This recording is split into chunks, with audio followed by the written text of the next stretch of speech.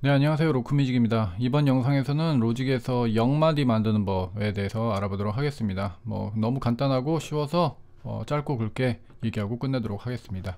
우리가 이렇게 작업을 하다 보면은 처음에 1, 번 그러니까 첫 번째 마디 이렇게 놓고 작업을 하다 보면 앞에 조금 여백이 있었으면 좋겠다 생각이 들 때가 있죠. 어, 큐베이스에서도 한번 다루긴 했었는데 로직에서도 똑같이 그 0마디를 만들 수 있습니다. 사실 0마디 뿐만 아니라 마이너스 마디를 만들 수 있죠. 어떻게 하느냐면 바로 보도록 하겠습니다. 숫자 1번 요쪽을 갖다 대면 이렇게 커서가 바뀌죠. 커서 모형 보이시죠? 이렇게? 요거를 잡고 왼쪽으로 끌기만 하면 됩니다. 그럼 0이 나오죠? 마이너스 1 나오고요. 그럼 여러분들이 원하는 그런 거에 맞춰서 이렇게 딱 이렇게 맞춰 주시면 될 것 같아요.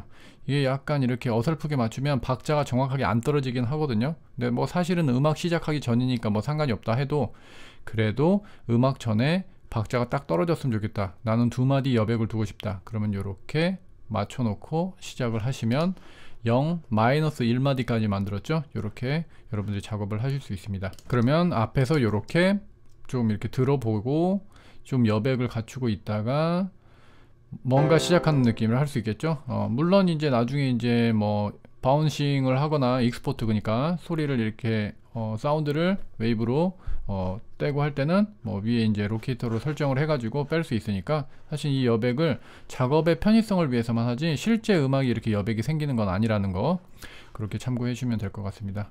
너무 간단하죠? 오늘 영상 여기까지고요. 다음 영상에서 또 유용한 꿀팁 소개해 드리도록 하겠습니다.